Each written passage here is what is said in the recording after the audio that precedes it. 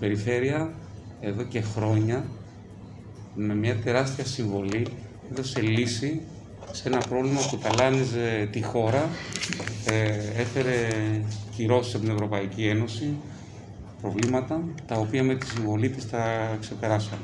Σήμερα θεωρώ ότι είναι μια μεγάλη μέρα για την περιοχή και τη Σεραφίνας Πικερμίου, προφανώς και της περιοχής ε, Σπάντων Αρτέμιδος, διότι μετά από πολλά χρόνια και δυσπραγία πολλών και για πολλές δεκαετίες ερχόμαστε σήμερα με αυτή την ε, υπογραφή της προγραμματικής να δώσουμε λύση.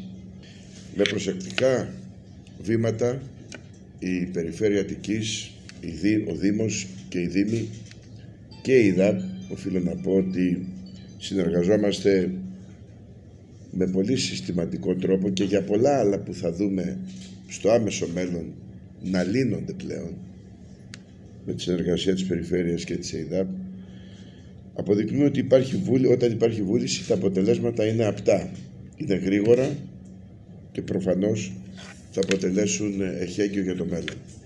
Η τοπική αυτοδιοίκηση λοιπόν πρώτου και δεύτερου βαθμού, η Περιφέρεια και ο Δήμος Δραφίνα σήμερα και ε, Αρτέμιδος καταφέραμε αφενός με να πετύχουμε την έγκριση του έργου από την Ευρωπαϊκή Επιτροπή πέρυσι το καλοκαίρι. Έγινε αυτό μέσα από συστηματικές ενέργειες όπως είπα για την πλήρη ενεργοποίηση των εργολαβιών σε πολύ σύντομο χρονικό διάστημα. Η Περιφέρεια έχει γυρίσει πλέον σελίδα